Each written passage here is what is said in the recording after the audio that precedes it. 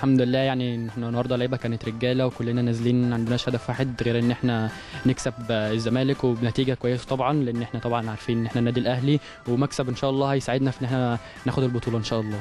يعني يمكن أنا كنت أتكلم مع عبد الرحمن قبل الماتش كده على طول بقول له أنت لما هتضغط هتضغط هتاخد منهم الكرة اللي هم بطاق فهو أول ما ضغط أنا قمت داخل وراه على طول راح زقها لي فالحمد لله ربنا كرمني وقمت حاططها في الجون الحمد لله.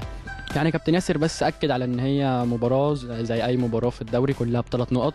إحنا ننزل نلعب لعبنا زي أي ماتش عادي وإن شاء الله ربنا هيكرمنا لأن هو واثق فينا واثق في أدائنا وروحنا طبعا. أنا لما اتكلمت مع اللعيبة أكدت عليهم إن إحنا النهارده لازم نبقى قلبنا على قلب بعض. هدفنا إن إحنا نكسب إن شاء الله لأن إحنا لما هنكسب هن... هنوقع الزمالك وهنطلع لفوق وهنرهب أي فرقة تانية تيجي تلعبنا طبعا إن شاء الله. نازلين نكسب عتا... نلعب على تلاته بونت.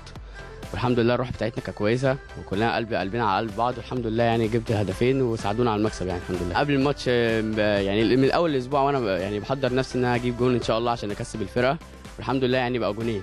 كابتن ياسر كان على طول بيحفزني إن أنا ما أخافش وألعب لعبي واخش أخش جامد في الالتحامات وأكسب أي التحام.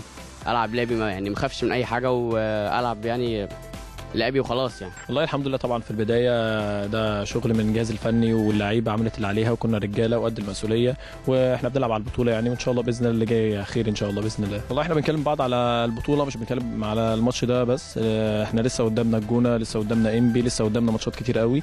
فإحنا كنا. نازلين مركزين ونازلين على المكسب والحمد لله ربنا كرمنا يعني. والله هم قالوا لنا لسه البطولة كبيرة ولسه في ماتشات كتير جدا ولازم نركز في اللي جاي وإحنا فرحنا والحمد لله وخلاص ونقفل الصفحه ونشتغل على اللي جاي إن شاء الله.